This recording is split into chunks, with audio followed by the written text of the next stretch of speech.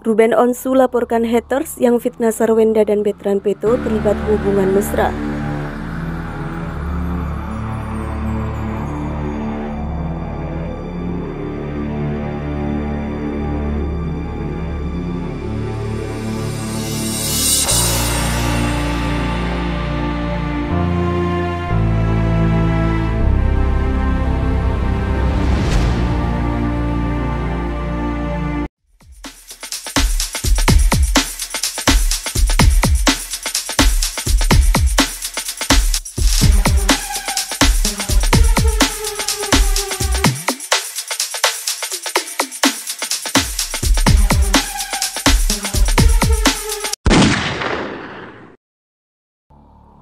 Ruben Onsu didampingi tim kuasa hukumnya mendatangi Polda Metro Jaya menerbitkan surat peringatan terbuka di media sosial pribadinya pada Januari. Kedatangan Ruben ke Polda Metro Jaya bertujuan untuk melaporkan oknum-oknum haters yang masih saja nekat mengunggah dan menyebarkan video-video berisi kabar menyesatkan tentang keluarganya. Sebagian dari oknum haters dengan tega mengunggah cuplikan video interaksi antara Sarwenda dan Betran Peto disertai dengan narasi-narasi yang cenderung menggiring opini warganet bahwa istri dari Ruben Onsu, Sarwenda memiliki hubungan asmara dengan anak angkatnya, Betran Peto. Ruben Onsu menunjukkan kemurkaannya dengan memilih jalur hukum untuk melawan para haters tersebut. Kuasa hukum Ruben Onsu Ari Pratama menuturkan, ada pihak yang mencemarkan nama baik Ruben sehingga kedatangan Ruben ke Polda Metro Jaya bertujuan untuk membuat laporan atas pihak-pihak yang mencemarkan nama baiknya itu. Pak Ruben merasa ada pihak-pihak yang mencemarkan nama baiknya.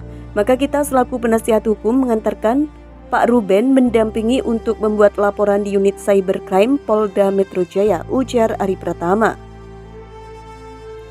Kuasa hukum Ruben Onsu menyebut banyak video-video terkait Sarwenda dan juga Betran Peto yang beredar luas di media sosial, merupakan video hasil editan dengan tambah narasi yang menyudutkan pihak keluarga Ruben. Cukup banyak ya, terutama pemberitaan-pemberitaan mengenai keluarganya Pak Ruben itu, ada beberapa video yang dipotong, digabung, dinarasikan yang tidak benar. Jadi video itu memang narasinya sangat menyudutkan. Pak Ruben selaku kepala rumah tangga harus melindungi keluarganya, terang Ari Pratama. Ruben Onsu pun membeberkan bahwa dirinya dan keluarga sangat ingin pelaku yang mengunggah video-video tersebut ditemukan untuk mempertanggungjawabkan perbuatannya. Jadi kalau ditanya harapannya apa, saya ingin pelakunya harus segera ketemu. Pelaku ini memang kayaknya bukan lahir dari rahim manusia gitu ya, Beber Ruben. Seorang wanita yang dikatain sama dia seperti itu dia tidak mikir dampaknya. Dia juga punya anak wanita tambahnya. Pihak kuasa hukum Ruben mengaku sudah memberikan solusi terbuka kepada seluruh warganet yang membuat konten-konten yang mencemarkan nama baik kliennya itu.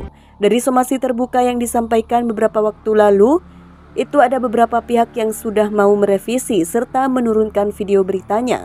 Namun ada pula beberapa pihak lain yang masih tetap terus mengupload.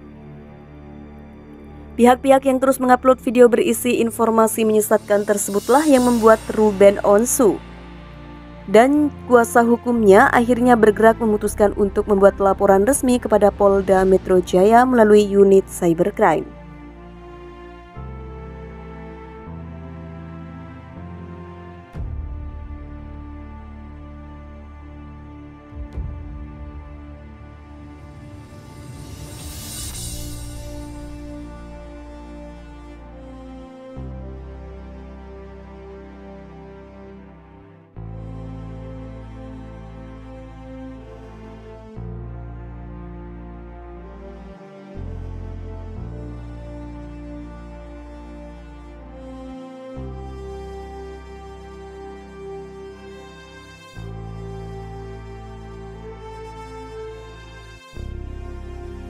Muncul video tak senonoh veteran Peto dan Sarwenda durasinya 4 menit. Kedekatan istri Ruben Onsu Sarwenda dengan anak angkat veteran Peto kerap mendapatkan pandangan negatif dari publik. Beredar kabar bahwa penerawangan Bami Jan mengenai kedekatan Sarwenda dan veteran Peto akhirnya terbukti benar. Kebenaran itu terbukti kebersamaan dengan munculnya video tak senonoh veteran Peto dan Sarwenda yang beredar luas. Kabar ini diketahui dari kanal YouTube Inshoot Infotainment dalam videonya dengan berjudul Ramalan Bamijan Benar Nyata. Munculnya video tak senonoh Betran dan Sarwenda benar terjadi. Video tersebut menginformasikan bahwa Bamijan pernah menayangkan sorotan negatif publik pada kedekatan Betran Peto dan Sarwenda. Padahal anak angkat Ruben Onsu itu tetap bisa melejit dengan karyanya tanpa perlu memancing publik berpikiran negatif. Bahkan video itu juga menggunakan foto thumbnail berupa wajah veteran Peto yang telanjang dada dan Sarwenda yang diblur pada bagian dadanya. Namun video berdurasi 4 menit 49 detik itu tidak membahas soal video tak senonoh veteran Peto dan Sarwenda.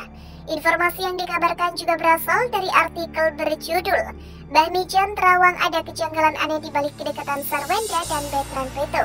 Mau seperti apa yang tayang di kanal Hopes.id? Pada artikel tersebut juga tidak menyinggung soal video tak senonoh veteran Peto dan Sarwenda. Artikel itu hanya menjelaskan soal kekhawatiran Bamijan terhadap kedekatan mereka sebagai ibu dan anak angkat. Bahkan foto veteran Peto dan Sarwenda pada thumbnail dalam video tersebut juga merupakan hasil editing. Jadi kesimpulannya, informasi yang dikabarkan oleh kanal YouTube tersebut tidak sesuai judulnya alias misleading. Sedangkan isu beredarnya video tak senonoh veteran Peto dan Sarwenda juga tidak benar alias hoax.